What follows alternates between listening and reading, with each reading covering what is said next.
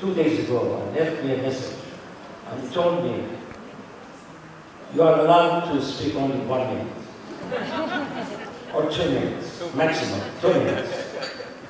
But first I want to talk to him. Rab is a spiritual agent of UCLA.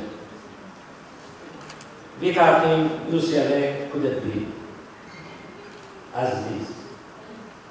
Rab indeed, he's Ashkenazi and he's uh, very calculated and logical and a scholar and teaches and tried to come around.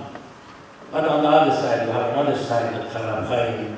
You become Iranian, emotional, and I see you, you have changed. But uh, I, I see you, you put the Iranian woman, the Jewish woman organization at the say, Acharon Acharon Chabib. That's why, they're the most years, for me at least. You know, in 1947, after the war, a million of women, Iranian women, got together in Tehran and they formed Sazan Yahudi the Iranian Jewish Women Organization.